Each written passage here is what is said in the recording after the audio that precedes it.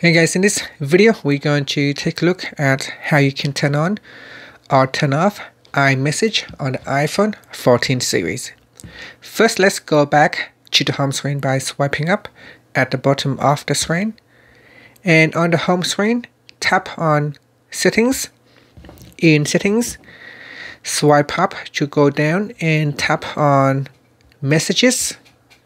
In Messages, tap on iMessage and in iMessage you can uh, then choose send and receive. Now if this is the first time that you have turned on iMessage you will get a chance to choose whether you want to use a phone number or an email address or both to receive and to send iMessages on your device. And that's it.